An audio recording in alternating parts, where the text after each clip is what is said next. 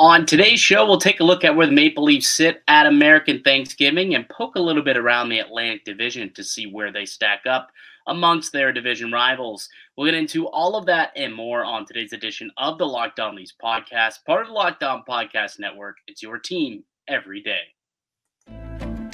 Your Locked On Maple Leafs, your daily podcast on the Toronto Maple Leafs, part of the Locked On Podcast Network. Your team every day.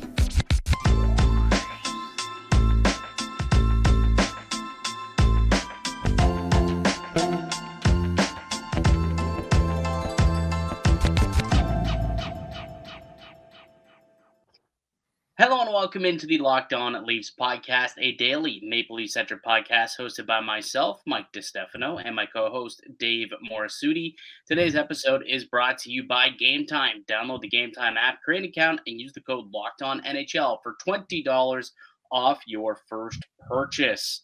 What's up, Dave? It's uh, it's going to be a bit of a longer week again. It's such a weird schedule that the Maple Leafs have had. We'll get like no games basically in the matter of three weeks because of the Swedish schedule. Like they played, you know, uh, was it the the last weekend they played the back to back and then didn't play again from Sunday until the Friday. Played a quick Friday Sunday, and now they don't play again until this Friday. So just legitimately within like a 12 game or within like 12 days or so, legitimately get like two Leaf games in between that time. It's so bizarre you know who's hurting the most from all this?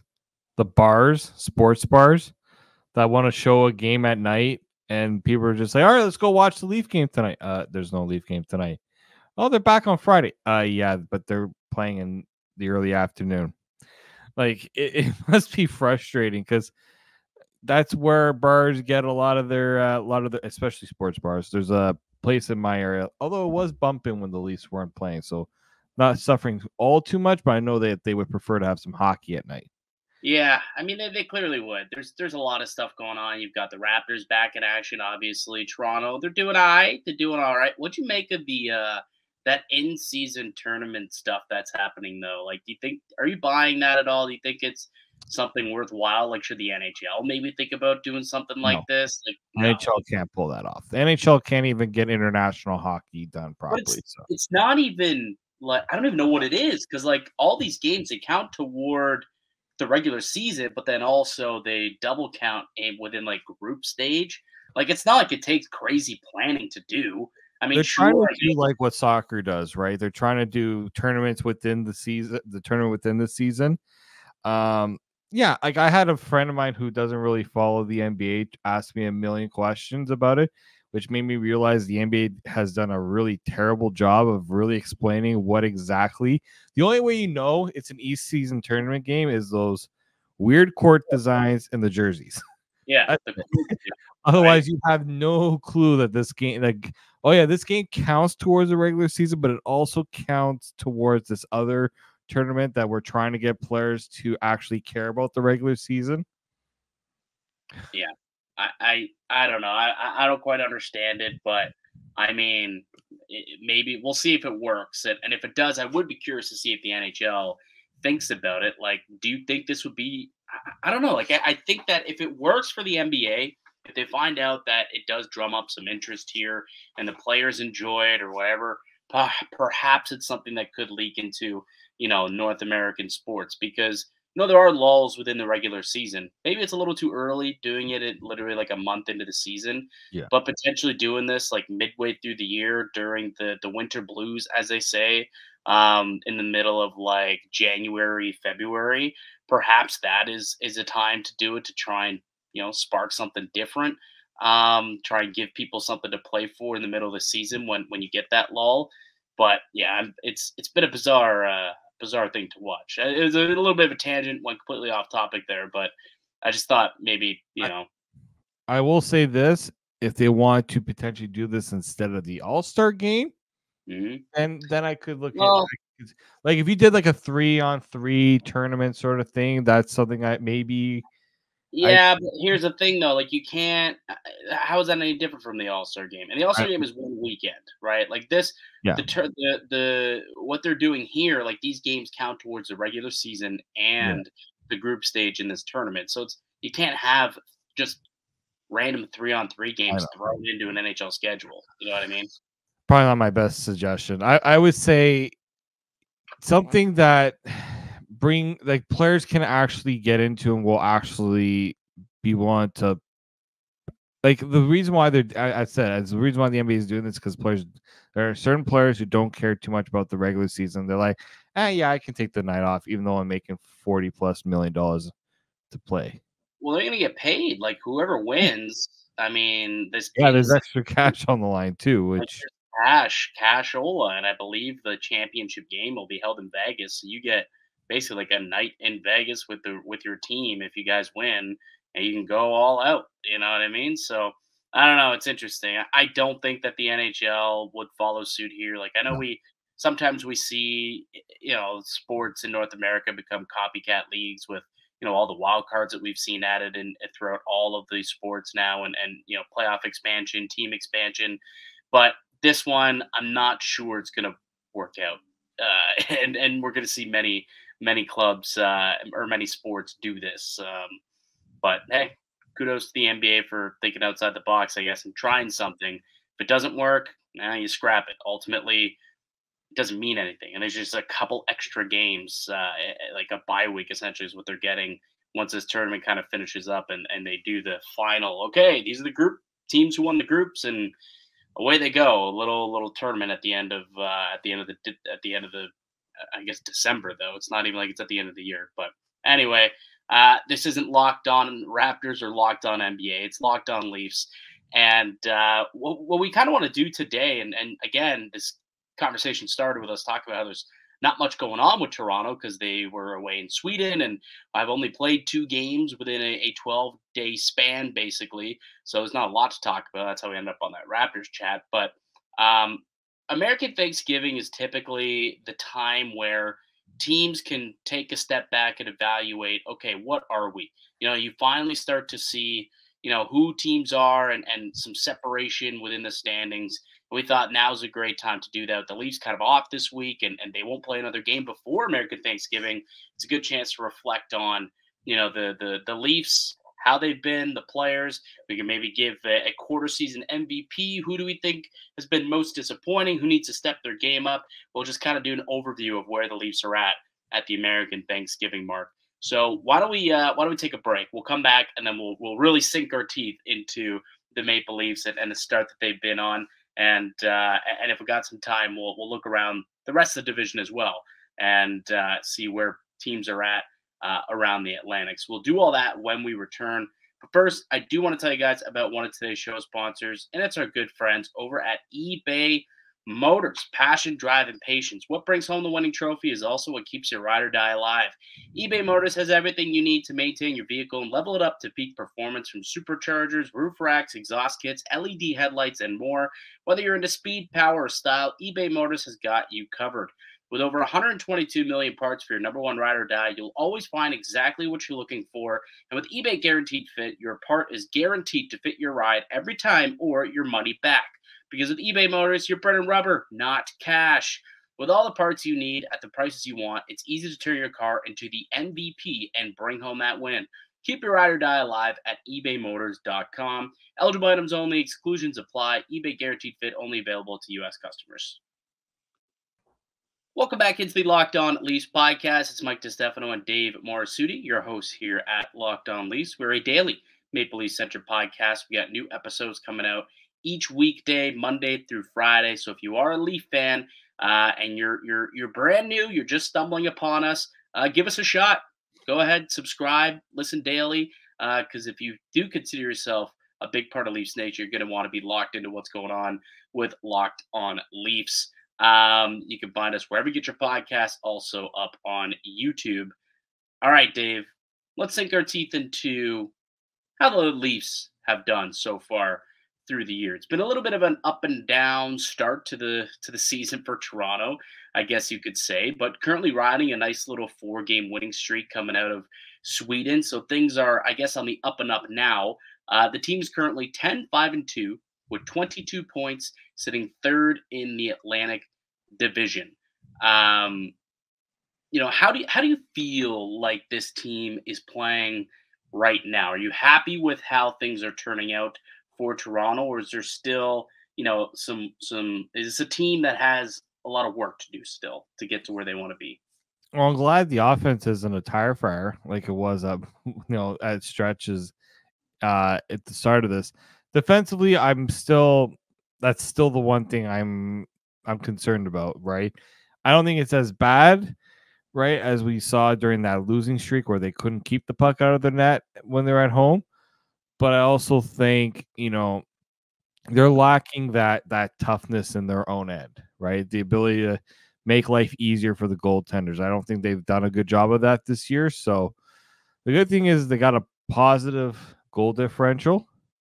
Mm-hmm. It's not I mean it's plus three, which is not I mean it's it's positive, but it's not going to be good enough in my opinion, right? If you want to be a really good team, that goal differential has to be in the double digits at some yeah. point. Yeah, and, and I suspect it will. Um, again, still pretty early on in the season, but I, I, do expect for it to to start to creep up. I mean, we're, we're talking about a team who's got 62 goals through 17 games. Just doing a quick look at the standings board, I believe that's uh, number two. Uh, it's technically number two in the standings. Tampa has 68 goals so far, but they have 19 games played, so two extra games um, and they've been able to get six extra goals in those games. So you know, by goals per game, perhaps Toronto's in a bit of a better situation. But still, you know, one of the top teams when it comes to goal scoring in the East. Um, my question to you, Dave, is you talk about goal differential. Well, the, the team with the best goal differential in the Eastern Conference is the Boston Bruins, who sit atop of the Atlantic Division. Do you think the Maple Leafs still have a chance to win the Atlantic? Like, did did Boston's start and Toronto kind of faltering a little bit early on cost them a chance to win this division, or do you think there's still time for Toronto to catch up and and you know become Atlantic uh, champs, much like we predicted earlier before the season started? The only reason why I'm not giving the Bruins the crown just yet, their lead isn't insurmountable, right? Right now, the Panthers are four points behind. The Leafs are seven points behind, which seven points is not. Pull, pull up the. You have the table there. Are you, are you do you have it on the screen? Pull it up right now. Actually, yeah, pull it up for those watching on YouTube. This is the video elements. If you're if you're only listening on podcasts, you know, watching on YouTube gives you that little extra video element as we we share the screen right now of the uh, the division rankings and, and the standings board. And, and there it is. Boston leading the way, 13 1 3 on the year with 29 points. Toronto, seven points back, 10 5 and 2. Like, here's the thing it's going to take a lot, right? Like, the Leafs have to go on a run. And the thing is, Leafs haven't really gone on a run yet, like right. Boston did at the start of the year. I mean, I mean, the Leafs are truly capable of doing that the one thing too is the Leafs still have three games left against Boston this season. Those are the opportunities right there. If you want to find any chance of climbing back into the Atlantic Division, you have to take advantage of those opportunities there. And I know some people, you know, some said maybe the Leafs path shouldn't go through the Atlantic and they should find a different way in the playoffs. I think if you go ahead and if you, you know, win the Atlantic, you make your life so much easier for yourself because you're you're giving yourself every significant advantage. So, yeah, I, I would like to see the Leafs push Boston for that spot. Whether I see Boston taking a step back, I mean a point eight five three save uh, points percentage, not really sustainable. At no. some point, you expect Boston to things to even out a little bit. It's well, just when Boston evens out a little bit, or if they go on a little bit of a stretch, can the Leafs capitalize? That's the real right. big thing there. You have to you have to capitalize at the right time. Well, and and look, we, we said the same thing last year, right? When Boston got off to that historic start, and we said, ah, they're they're going to stumble at some point, and the stumble never came. Now, obviously, they had a guy by the name of Patrice Bergeron on their team last year, and David Krejci, who are both no longer with the club but they still seem to be just chugging along. Like, like just look at that right their, their record. They've won regulation loss through 17 games to start the season. They've yet to lose in regulation on home ice, which again was very similar to last year, where I, I think they only lost like three or four games in regulation on home ice. It was it was incredible.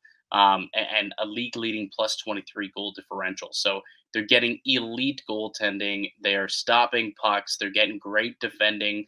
I mean, they have a good blue line, anyways, with McAvoy and, and Hampus Lindholm. Um, and they've got some other, you know, pretty solid uh, young pieces as well. But they're scoring like David Pastrnak up until I believe uh, Quinn Hughes, I think, has overtaken him. But at the end of the Boston game tonight, Pastrnak was tied or was leading the league in points. So it doesn't even matter for Pasta. He's still just going out there and putting up uh, points all the time. So, you know, I don't know. The, the Boston Bruins just continue to defy the odds and, and go out there and, and win games. But uh, to your point, it's not an insurmountable lead for Toronto to go out and do. Like Boston loses two games, Toronto wins two games, and all of a sudden, this now down to three points, right? Like it's it's very easy. There's so much time left for um, for you know these standings to to flip flop. Realistically, I don't think it's it's locked in by any means. If you're the Bruins, uh, so I think Toronto still definitely has a shot to do so. Um, a big one here too, if I, I might add to, is um, you mentioned also Florida's not out of it either. Like it's not in, in either. Florida's yeah, Florida's still in it. Toronto's home record has not been great that's where they got to have, I think, the biggest change. They're like, Which they're, they should. They should, right? Like, you, you Boston has, as you mentioned, Boston hasn't lost a game in regulation at home, right? The Leafs have a good road record. Mm-hmm. That's been established, but they got to find a way to be better at home. Yeah, yeah, absolutely, they do. Um, through 17 games, Dave, through 17 games, 10, 5, and 2, 22 points but they're finally winning some games and playing some pretty solid hockey. They're they're getting secondary scoring now at the very least. They've won four in a row here. Um, have they finally found the right mix up front? Do you think? Like the first few weeks, it took Sheldon Keefe a, a little while. It seemed like every game or every other period, we were seeing the blender getting taken out. The last few games, it seems like things have kind of settled in here. Have they finally found the right mix, lines one through four up front? I think uh, lines one through three, I would say so. Line four is still the one where it, it, I don't know if that's going to be enough, right? Like Gregor's shown that he can chip in offensively. I think Kämpf has underwhelmed in a lot of ways, right? Considering now he is strictly in that fourth line role. Um, obviously, when you have Ryan Reaves in there, that doesn't help the situation. right? No, so I think McMann's been there the last couple of games. Yeah, and, you know, it's been better. It's definitely been better with with a capable player there, right? I think McMann has like two points in three games, so they're chipping in offensively. Ryan Ryan Reaves is incapable. Is that is that what you're saying, Dave? Is that what you're saying? I think he might. He it's hasn't really gone too well for him in that situation. I do I do like this mix because every line has a has a clear strength, right? And the funny thing is, is the one line that hasn't really been producing as much. Like they're they're still getting point, but they haven't broken through. As in my in my opinion, is the top that top line. Like yeah. when Matthew Knies was put there initially, boom, instant, it was working. Last few games, it's, it's felt like a bit of a lull with yeah. that line. Matt, like Knies scored in the last game. Maybe hopefully that does kickstart something, but I do like that if that top line's not going, now you got the second and third line producing, not chipping mm-hmm. in, producing. That's right. And and and look, that was kind of the the thought process for Brad Treliving this summer when he went out and he signed Tyler Bertuzzi and he signed Max Domi.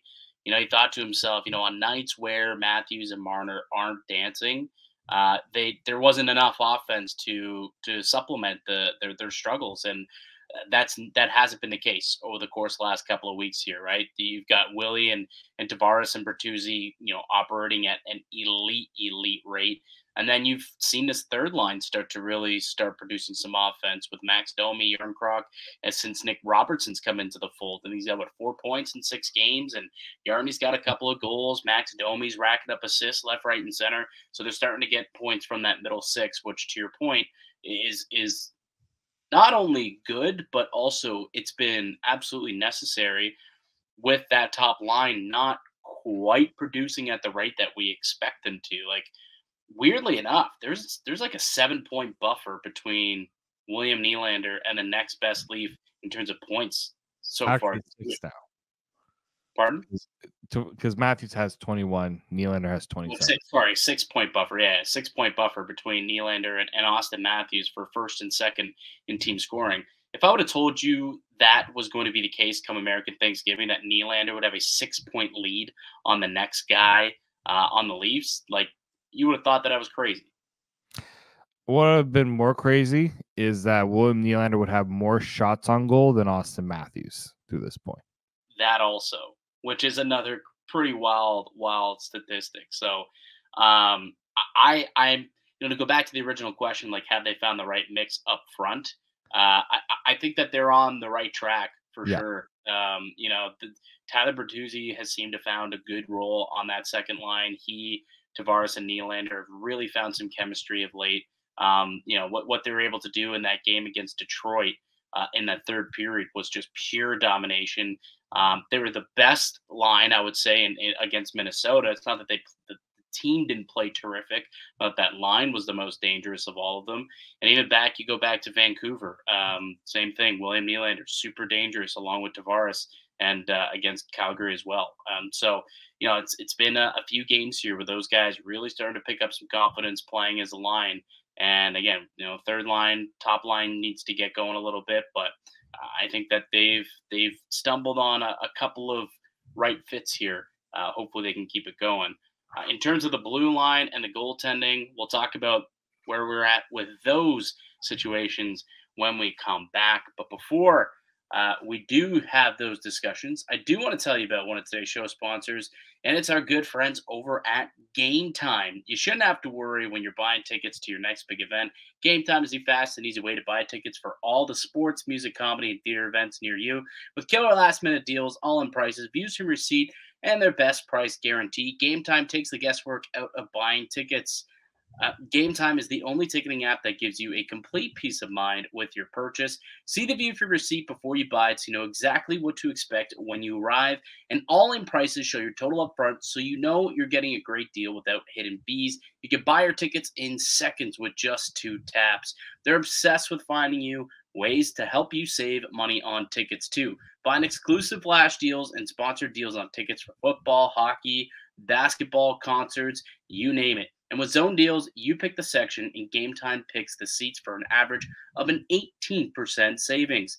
Take the guesswork out of buying tickets with Game Time. Download the Game Time app, create an account, and use the code Locked On NHL for $20 off your first purchase. Terms apply. Again, create an account and redeem the code Locked On NHL for $20 off. Download Game Time today. Last minute tickets, lowest price guaranteed. Welcome back into the Locked On Leafs podcast. It's Mike DiStefano and Dave Morassutti. We want to thank all of the everydayers out there for joining us once again for today's podcast. And if you're new to the show and you've made it this long, thank you. We really appreciate uh, you giving us a shot 20 plus minutes into the pod. And if you have enjoyed it, we would ask that you would give us a little like if you're watching on uh, YouTube, subscribe as well. That would be much, much appreciated. And let us know down below. I want to hear in the comment section your thoughts on how the Leafs are doing just 17 games into the season as we've reached the American Thanksgiving mark. Um, so we talked a lot about the offense and how the offense is starting to come around. Is the goaltending starting to come around, Dave?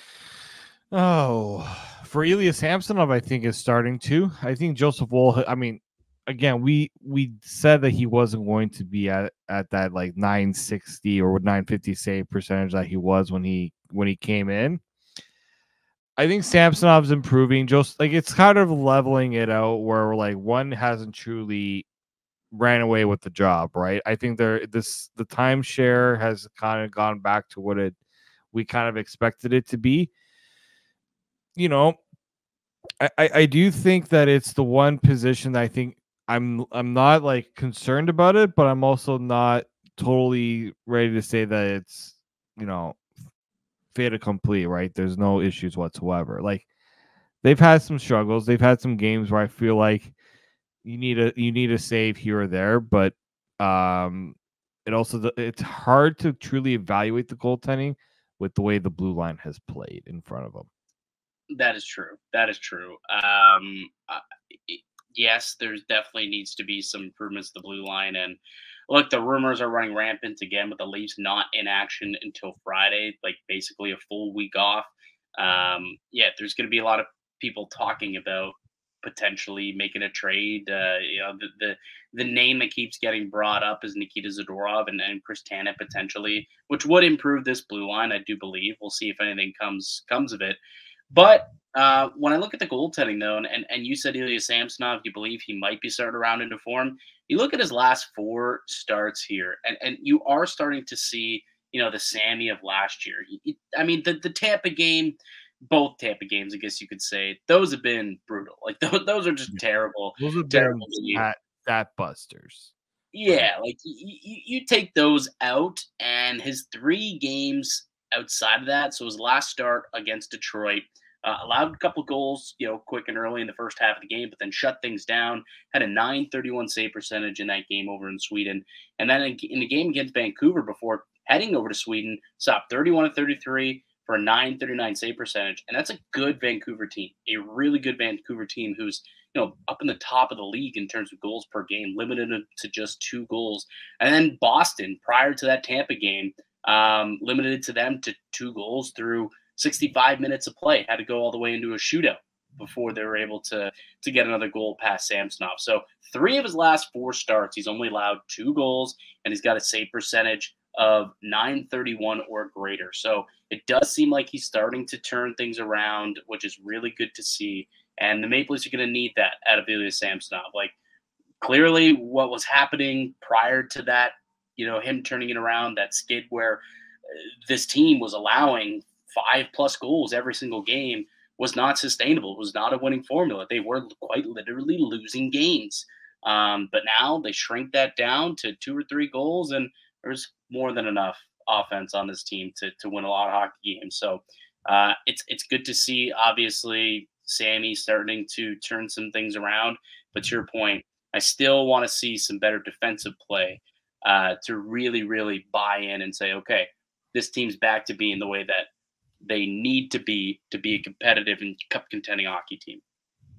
Yeah, I, I do think that when you when you look at how teams have been able to win the cup lately, right? I look at the Colorado, I look at Vegas. They don't need the superstar goaltending performances like a Vasilevskiy or Bobrovsky, even when Carey Price somehow got the Habs team to the cup final. Teams can rely on that I don't think it's sustainable as much. We're just seeing Andrei Vasilevskiy pretty much having to get his back repaired for carrying that Tampa team. I, I look at what those teams have done with goaltenders like Hill, Grubauer. You can find ways to win with goaltending that's not they, they have to be good, right? You can't go in with the Antti Niemi in that. Right? We you have well unless you have Duncan Keith and Seabrook championship? Like his didn't Niemi win their first championship?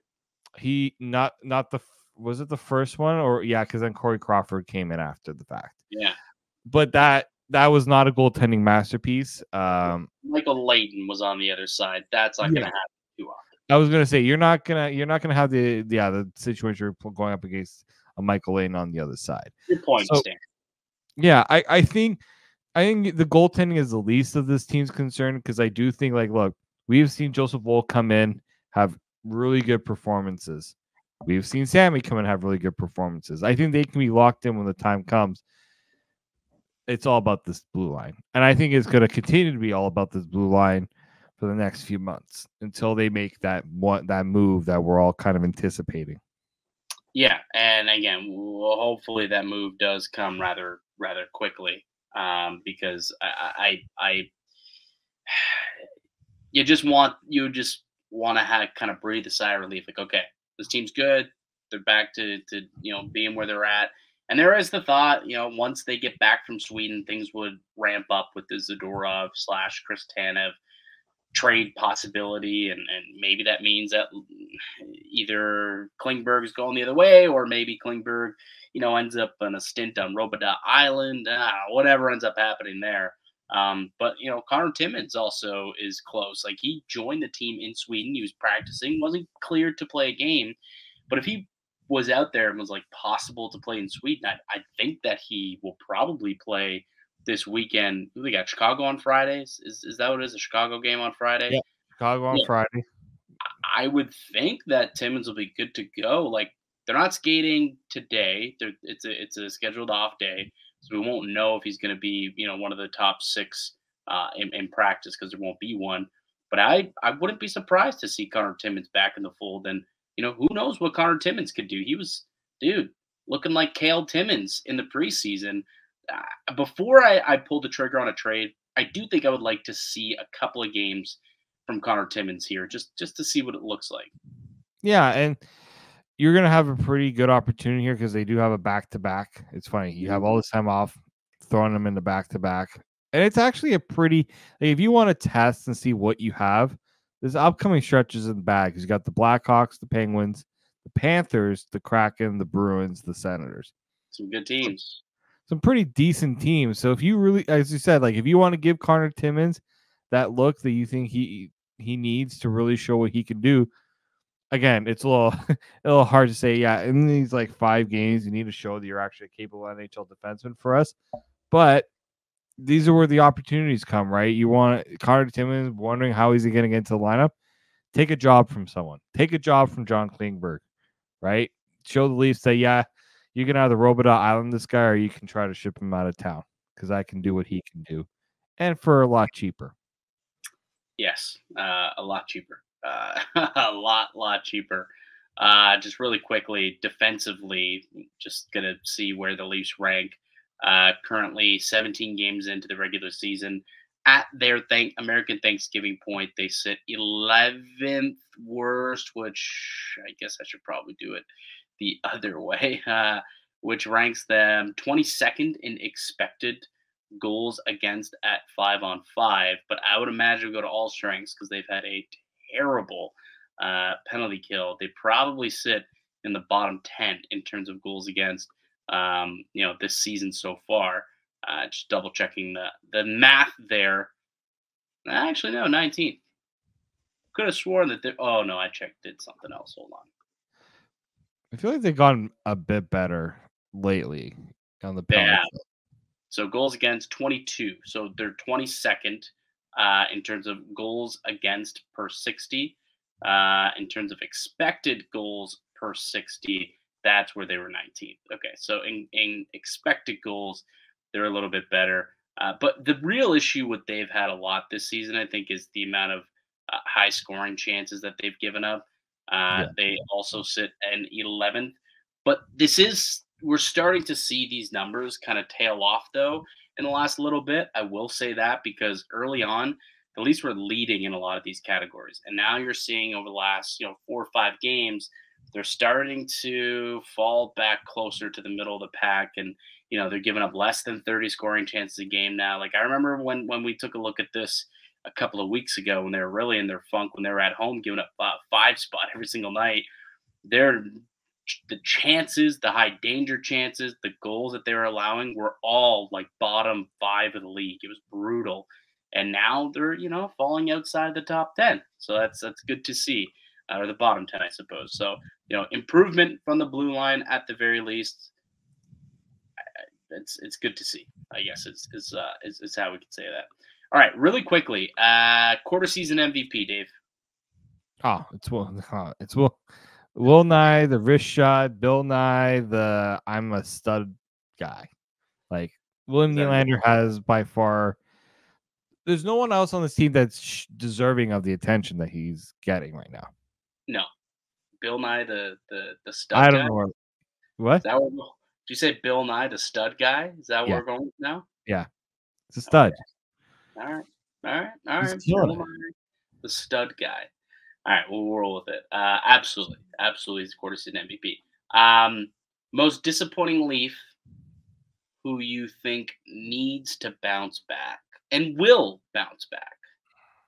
Most disappointing. David Kämpf. Mm. Yes. Uh, You know, they tried him at third line center, didn't work. Okay. Mia culpa on that one, Sheldon Keefe. Fourth line center now. I don't like that he's below 50% on the faceoff dot. He's got to get better at that, right? He's not he's a guy that needs to have the puck on his stick, right? Possession. He's he Wow. lo- right? Stick, his his team needs to get the puck Yeah. back. right? Like the reason why the penalty kill wasn't so good, I, I'd like to know what his his faceoff percentage was on the penalty kill I can tell you that in two seconds. Keep talking. Because that's an area where I feel like if you're wanting to figure out why the Leafs penalty kill hasn't been so good, I guarantee you look at this at the faceoff percentage, and there's a reason why you started to see John Tavares once in a while taking draws on the penalty kill because he's the, the best faceoff guy on this team right now. Which I think if you ask people last year or two years ago, they wouldn't have put John Tavares as the best one. He's he he has always been good at it. And it's not like all of a sudden John Tavares is good at faceoffs, but he is by far and away the least best at taking draws. Yeah, I mean he's always been pretty good at that though. So I, don't- Yeah. I don't know if I would um, necessarily say he hasn't been. Uh, where are we at here for? ooh, So- face off percentage. Well, that's just that's not. That can't be real. I don't like when Mike says that. Well, that can't Well, it's weird because for uh, John Tavares, it says face-off percentage is like fourteen thousand percent. Well, that's definitely not definitely not right. I'm really confused by by this number. It's telling me fourteen thousand percent for John Tavares. Uh, face-offs one per six. Well, I okay. What is going on here? This is on the penalty kill, correct? Penalty kill. The penalty kill, yeah. Hang on, let me let me double check this number here. This this doesn't seem this doesn't seem right. What I'm what I'm seeing right now. Okay. What it's telling me is, oh, I'm on rates, not Here, count. I think I got it. He is 48.39%. I was on the looking at rates. Yeah, I was looking at rates, not counts. John Tavares is okay, one for one in face-offs at uh, on the penalty kill. Yeah, David Kämpf, forty-eight point three nine, uh, sub five hundred. Um, the only one who's above five hundred is Auston Matthews, and that's barely. He's He's not yeah, he's not and he's not taking as many faceoffs as David Kämpf.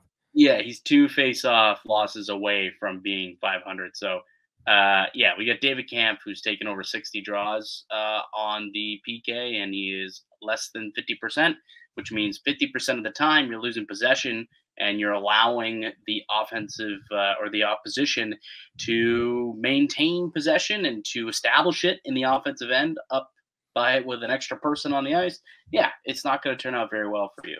I'm curious what it was last year. Now that you brought that up, I, I I'm, I'm going to quickly go and see Ooh. what that number was up last year to see exactly like if if our if our hunch is correct, where he has lost out. Um, let's see. Last year, shorthanded. Interesting. He's actually worse. Worse last year. It was forty percent. Forty percent last year, apparently, in uh, in faceoffs last season. Like uh, that I I find that very curious that also the reason why I'm this is making me really shake my head is Manny Malhotra is one of your coaches, one of the best face-off guys at his time when he was in the league. Yeah, So yeah. wow. I would agree. But I mean, the least penalty kill also was not great last year. That's like I still like. I think that's something that hasn't really improved in the way that, and I don't. I didn't expect it to really improve because they didn't really make moves to m- improve it. Right. The only thing they did was saying, "Hey, we're going to put Auston Matthews now because we can't really defend the penalty kill, so we're just going to try to play offense on the penalty kill," which a lot of teams are doing right now. It's like the Bruins kind of started when they put Marchand on the penalty kill. Get that offensive guy out there. So the Leafs are going with that method. And yeah, I, I still think David Kämpf, though, if I'm giving that guy that hasn't Hundred percent. worked out. Yeah, one hundred percent. Because I mean, we're- we're just with we're, the contract they signed him to.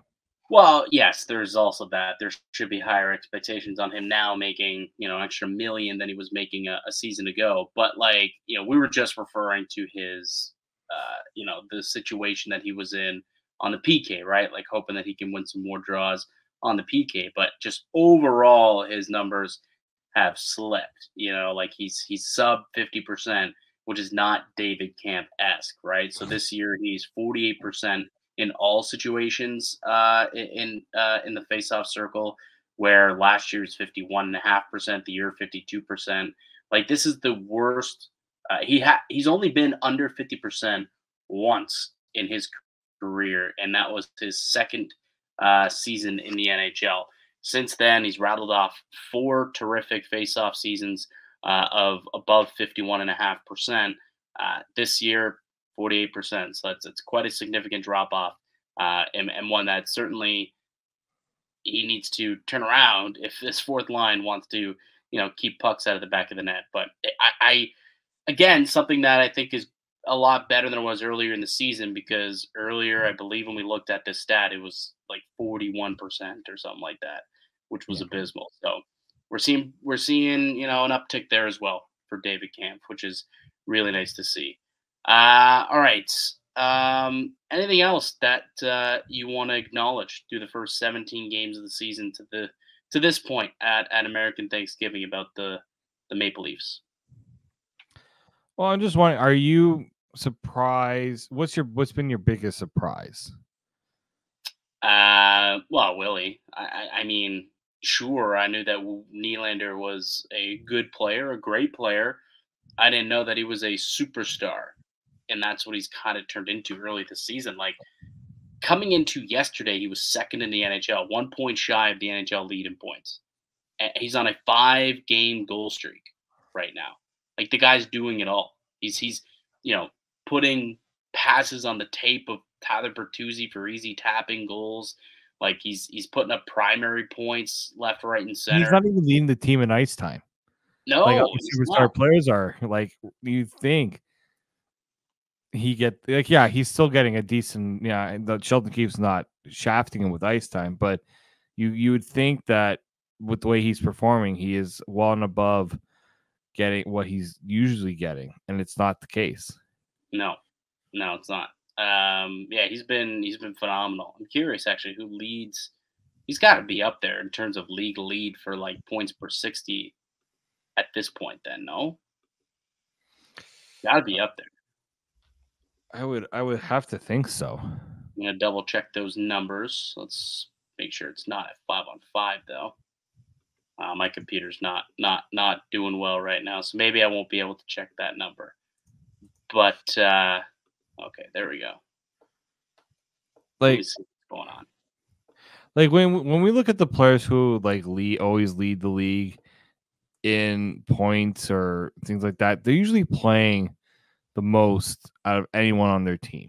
And I think that's the one for me with with Willie is he's doing it without getting, you know, the prime chances all the time. Yeah, he's getting I as as we know, he's getting his his chances, but you look at the guys he's chasing, like a David Pastrnak, he is certainly not playing more than David Pastrnak this year. And he's right right there with him. Right. Absolutely he is. Uh, uh, I don't know why I can't find the the number. All strengths, points per sixty. I was scrolling. And I saw Marner ahead, and I didn't even get to Willie. That that makes absolutely zero sense. If that's the case, hang on. Let me see if I could. If, ah, there we go. Okay, sixth in the NHL uh, fourth in the NHL because Zach Fan- Sanford's number one. He's played one game, and Joel Kiviranta is third. He's played four games for 41 total minutes. Um, so we'll call it fourth in the NHL in points per 60, 4.83 points per 60, trailing only Jack Hughes, Pastrnak, and Artemi Panarin. So yeah, he's been one of the most dominant weapons offensively um, in the NHL. Like that's that's been the surprise, I guess you could say uh, again, knew he was good, knew he was great. Didn't know he was a superstar, and that's what he's shown so far. And that's gonna be costly for the Maple Leafs this summer. But maybe that's a conversation that we can have again tomorrow. What may a Nylander contract look like? But we'll have lots of time for it. we'll lots of time. Again, Leafs off uh, off practice tomorrow, so you know no practice updates, and they also don't play again until Friday either. So yes, we've got uh, we've got time. Maybe tomorrow we can also break down the rest of the division and take a peek at what's going on around the Atlantic. So do all of that on tomorrow's show, but that'll do it for us here on today's podcast. I'd like to thank you all for listening and supporting the show. You can subscribe to the Locked On Leafs podcast on all podcast platforms and receive daily Leafs content. Follow myself on X at Mickey underscore Canuck. Follow Dave at D underscore Morassutti and follow the show as well at Locked On Leafs. Uh, go ahead, leave a like if you're watching on YouTube. Leave a comment down below as well. Your impressions of the Leafs uh, at the American Thanksgiving mark. Uh, we'll be back with another episode for y'all tomorrow. But until then, keep it locked right here on Locked On Leafs.